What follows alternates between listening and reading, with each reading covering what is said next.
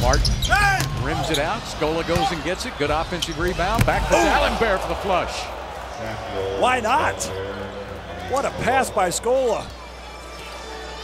What a poster there by Dalembert. Well, nice rebound by Scola. You see the two tall trees have got him pinned in, so he finds Samuel the Bear Dalembert for the slam. Ooh, I like that. Like the bear? Yeah, I got you. That was a nice dunk.